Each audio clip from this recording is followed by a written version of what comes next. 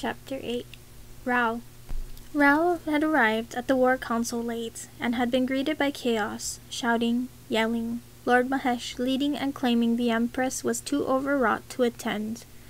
Rao should have spoken for Malini, had wanted to, but he had met Lord Khalil's eyes, seen the lift of an eloquent eyebrow and the faintest shake of a head, and Rao had kept his calm and his silence, even as his frustration grew.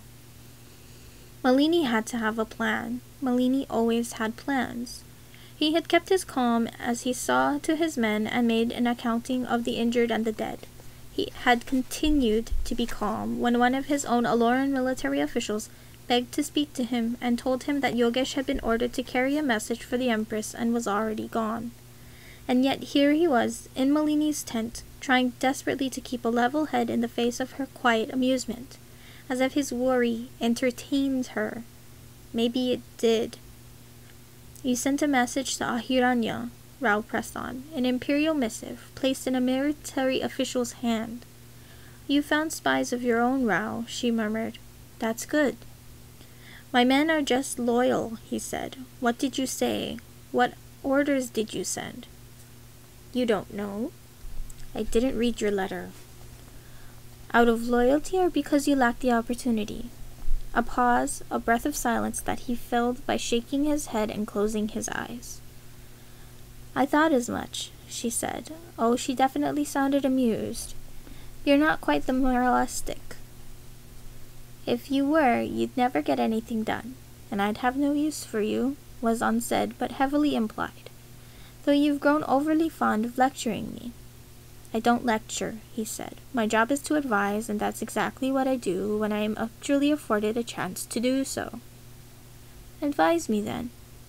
The Ahirani are still viewed with great suspicion. I am well aware of that, she replied. Then I have to ask why you're reaching out to them, he said, especially now when you have. He paused and said more quietly, After the fires and the war council, you have enough problems to contend with here. How did Mahesh's war council proceed without me? She raised an eyebrow at him. I'm curious. Did anyone outright say that Aditya should have the throne, or did they only imply it? If you want me to be your eyes and ears, then it would be helpful if you could be honest with me in turn, Rao said. It was what was absolutely not an irritated tone of voice. I have spies enough, said Malini, and until I am able to attend my own war councils without fear of my own men may seek to protect me from the war I am leading, you will have to forgive me for holding some truths close to the chest. You don't have to lie to me, he thought, and did not say. It sounded too pitiful even in his own head to be spoken. Do not understand what you are to me. Like all royals of Alor, his true name had always been a secret, a prophecy waiting to be spoken. His true name had been the guiding star of his faith and fate, dragging him onward, leading him inevitably to kneel before her in the sun-drenched dirt on the road toward Dwarali, where he had revealed it to her and given her the right to the throne. When she is crowned in jasmine, in needle flower, in smoke and in fire, he will kneel before her and name her. He will give her the princess of Parijat her fate. He will say, Name who shall sit upon the throne, princess. Name the flower of empire. Name the head that shall reign beneath a crown of poison. Name the hand that lit the pyre. He will name her thus, and she will know. Didn't she understand that his fate was still tied to her own? That the nameless God had made him like this, and he could not change his nature, his purpose? He had named her Empress, and she. she did not trust him. He swallowed back hurt. You can't always assume that people are going to turn on you, that they need to be managed and and manipulated. Rao was turned away from her, knowing his face was still painfully open, that she would see right through him if he allowed her to. You're going to have to trust them. Rao, she said after a moment. He looked at her again. The amusement had drained from her face. What was left was tired and shaken and world weary. I have trusted all through this war, said Malini. I trusted those men who, when we traveled to Dwarali, when we forged new alliances there, when we faced battle after battle, I trusted they would fight and die to see me on the throne. I trusted that I would find not find a knife placed against my throat in my sleep. That is plenty of trust, Rao. And more any more trust and I will be making my own noose. I just don't believe that the Ahirani will be as much help as you hope they will be, Rao said. I worry that this arrow will cost you. We will see, Malini said, voice unreadable. But there's no worth in sending a messenger to stop a messenger.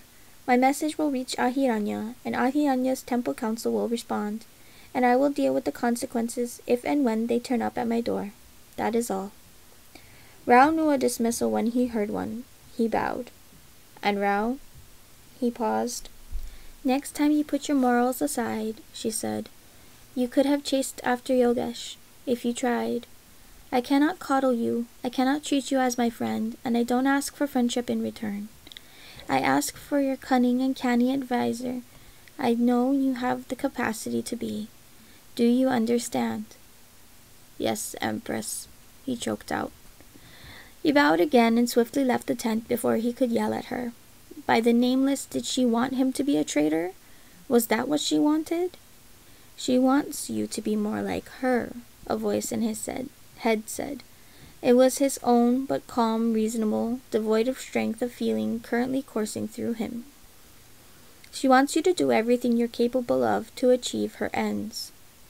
Somehow, without meaning to, he did not walk back to his own sleeping tent, did not seek out the military officials who served the Aloran branch of the army, who always had need of him for something, did nothing, in fact, that would make him useful.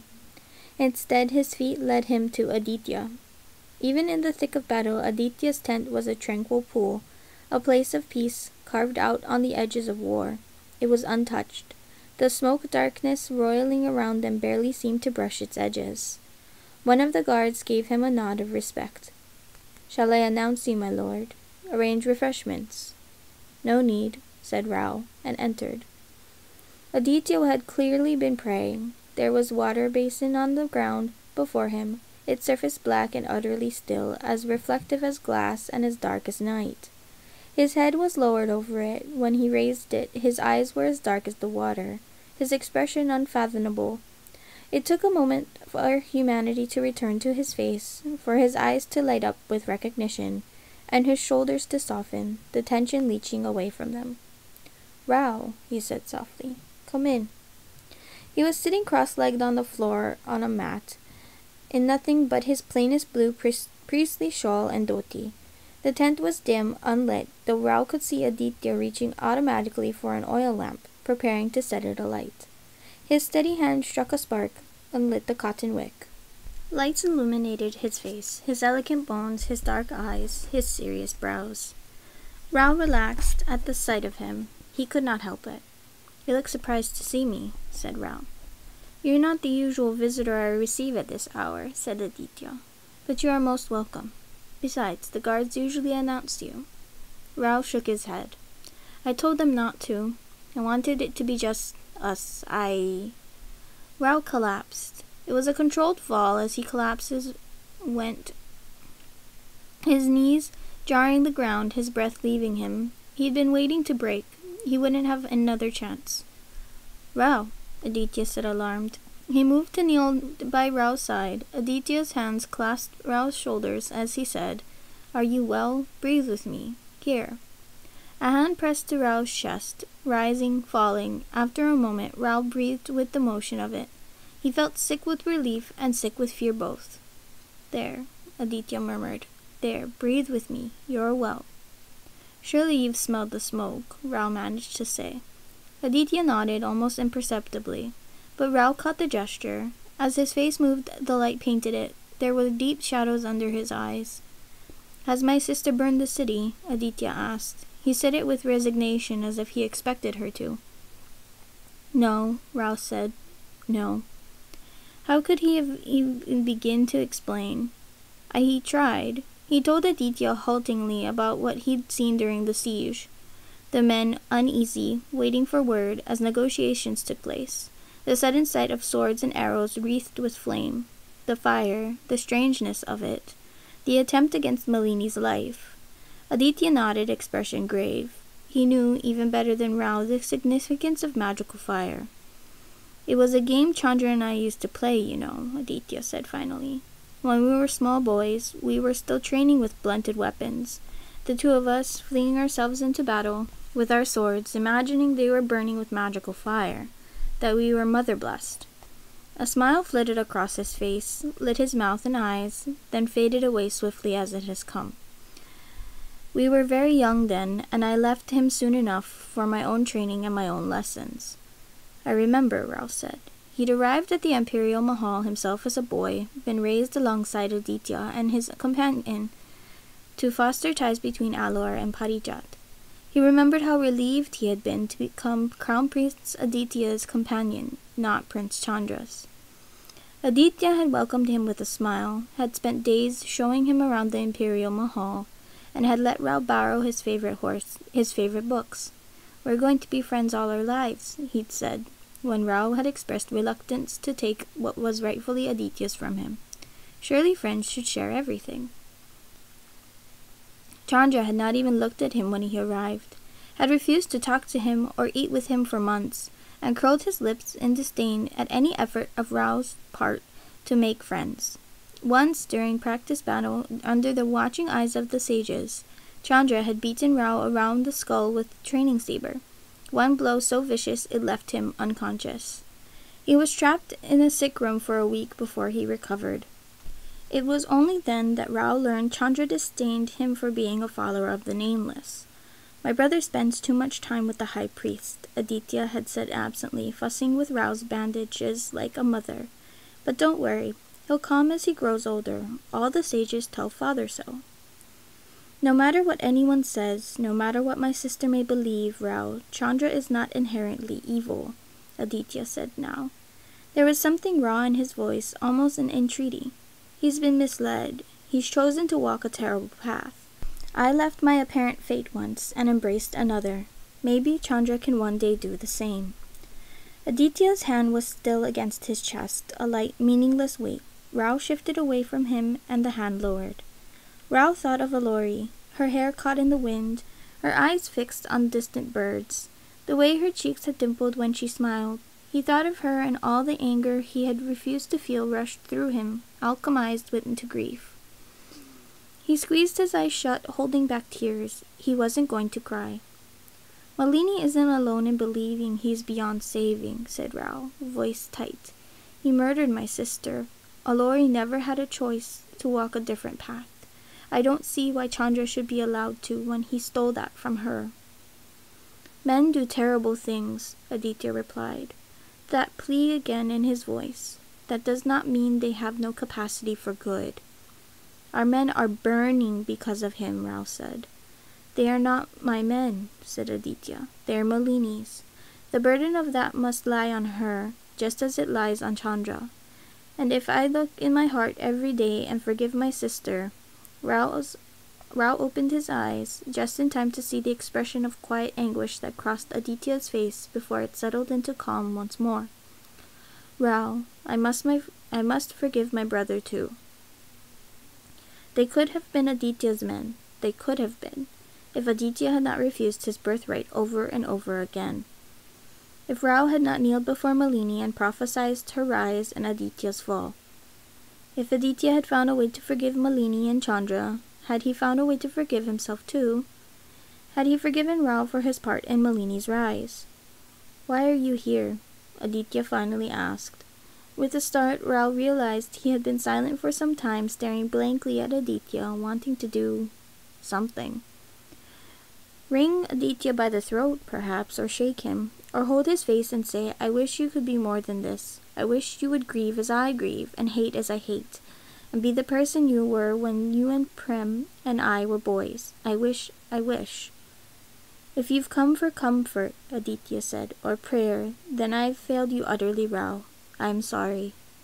There were many things Rao could have said. I came to tell you what happened. I came to ask for your help. I came to tell you that Malini is fighting to make those men obey her, and I fear this will break her control of them and you, Aditya. I don't know why she allows you to live when you're a threat to her, and I hate myself for even thinking it, but as long as you're here. A tumult of thought, too much and none of it useful. He had told a truth instead, if not the truth. I came to see you, Rao said, because you're my friend, and I needed to see that you are well. And now I have. I'm unchanged, Aditya said gently, as always. Low murmurs sounded beyond the tent. This time a guard peered in, announcing the presence of a military official who entered and bowed low. Prince Aditya, Prince Rao. He lifted his head and said, Prince Aditya, Lord Mahesh has requested your presence. For what purpose? Aditya asked. The official's gaze darted to Rao, then away. He and a few lords from Parijat wished to speak with you. They earnestly hope you will attend them. Another meeting that Malini had not been invited to. Rao would have to make sure she heard of it if one of the attending officials had not already passed the information to Lata. Aditya shook his head. I have meditation to engage in, he said as if it, this were a far more vital task. Prince Aditya, please, the official said, pleading. What must I tell them?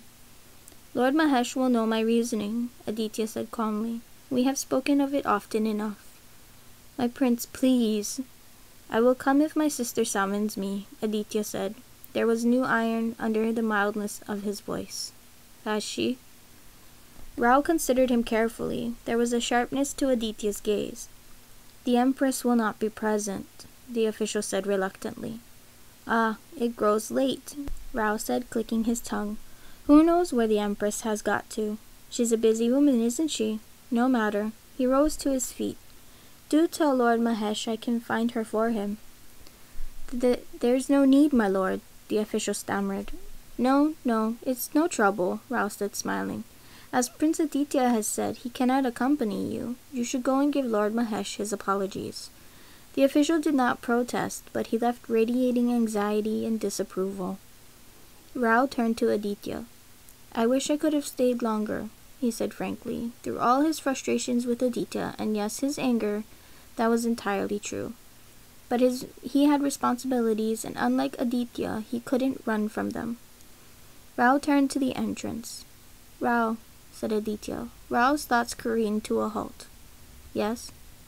I would like to, you to assess my guards, he said. You have my permission to make changes to the roster. A few of your men would be ideal. Despite Aditya's enforced peace, the world kept on creeping in, in smoke and fire, in men. Not all visitors are welcome as you are, Aditya said. I'll arrange my own men, Rao said carefully. And next time, Aditya... Yes? I'll bring you some wine, he said, keeping his voice light. This was his friend. Never mind anything else, that remained true. Aditya nodded once in graceful thanks, and Rao left him behind.